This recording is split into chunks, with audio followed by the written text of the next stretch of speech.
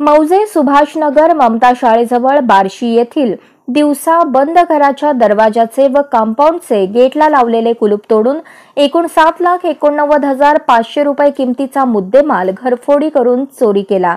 म्हणून राजकुमार काशीनाथ मागलकर वय चौसष्ट राहणार पंधराशे एक्कावन्न सुभाषनगर ममता शाळेजवळ बार्शी यांनी अज्ञात चोरट्याविरुद्ध फिर्याद दिल्याने बार्शी शहर पोलीस ठाणे येथे भारतीय दंडविधान कलम चारशे चोपन्न तीनशे ऐंशी प्रमाणे गुन्हा दाखल झाला होता. सदरचा गुन्हा घडल्यानंतर गुन्ह्यातील अज्ञात चोरट्यांनी गुन्हा करण्यासाठी ह्युंदाई ॲसेंट कारचा वापर केल्याबाबत सीसीटीव्ही फुटेजवरून निष्पन्न झाले होते. गुन्ह्यातील अज्ञात चोरटे हे सदर कारचा वापर करून मोहोळ सांगली शहर व कलबुर्गी कर्नाटका तसेच सायबराबाद राज्य तेलंगणा इत्यादी ठिकाणी दिवसा व रात्रीच्या वेळी घरफोडी चोरी करून धुमाकूळ घालत असल्याबाबत माहिती प्राप्त झाली होती. बार्शी येथे दिनांक सहा एप्रिल रोजी एक घरफोडी झाली होती. त्या घरफोडीमध्ये साधारणतः सात लाख एकोणनव्वद हजार रुपयाचा मुद्देमाल चोरीला गेला होता. दिवसा घड घडलेली ही घरफोडी होती आणि संवेदनशील घरफोडी होती. त्यामुळे यामध्ये आपण क्रिमिनल इंटेलिजन्स मिळवलं. क्रिमिनल इंटेलिजन्समधून असं लक्षात आलं की अशाच प्रकारची घरपुडी ही मोहोळ त्याचप्रमाणे सांगली कलबुर्गी आणि सायबराबाद इथे झालेल्या आहेत. आणि या प्रकार या सर्व ठिकाणच्या घरफोड्यांमध्ये एकाच प्रकारचं वाहन आणि एकच वाहन वापरलं गेलेलं आहे असंसुद्धा लक्षात आलं. त्यामध्ये आरोपींनी प्रत्येक वेळी वेगवेगळ्या फास्टॅगचा वापरसुद्धा केला होता.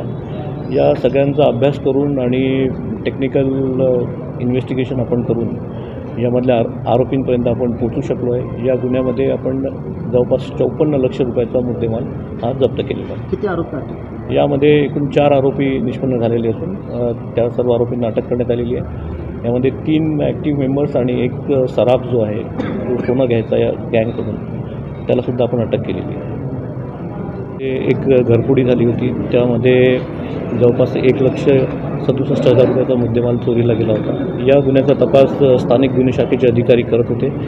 या गुन्ह्याचा तपास करत असतानाच स्थानिक गुन्हे शाखेच्या अधिकाऱ्यांना एक गोपनीय माहिती मिळाली. त्या माहितीला आपण डेव्हलप केलं आणि त्यामधून एक आरोपी जो इ अशाच प्रकारच्या अनेक गुन्ह्यांमध्ये वॉन्टेड होता मग पाहिजे होता त्या आरोपीला आपण अटक केली आणि त्या आरोपीकडून आज सोलापूर ग्रामीण जिल्ह्यातील एकूण तेरा गुन्हे जे आहेत ते तेरा गुन्हे उघड झालेले आहेत.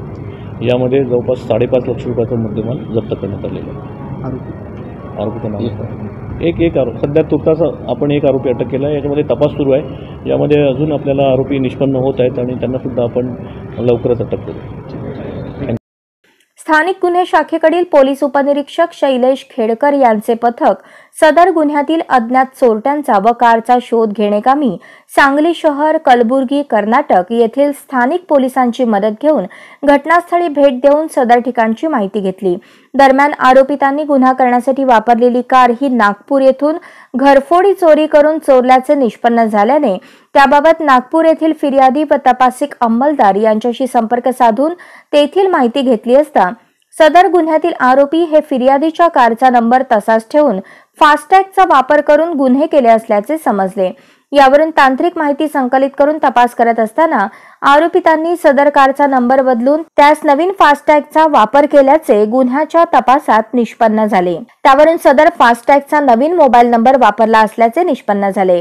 सदरची कामगिरी पोलीस अधीक्षक शिरीष सर देशपांडे अप्पर पोलीस अधीक्षक हिम्मत जाधव यांच्या मार्गदर्शनाखाली स्थानिक गुन्हे शाखेचे पोलीस निरीक्षक सुहास जगताप यांच्या नेतृत्वाखाली स्थानिक गुन्हे शाखेचे पोलीस उपनिरीक्षक शैलेश खेडकर सहाय्यक फौजदार ख्वाजा मुजावर नारायण गोलेकर प्रकाश कारटकर धनाजी गाडे मोहन वंसावाले पोलीस नाईक धनराज गायकवाड अनिश शेख अक्षय दळवी अक्षय डोंगरे व्यंकटेश मोरे चालक समीर शेख सुधीर बलवंत यांनी बजावली आहे.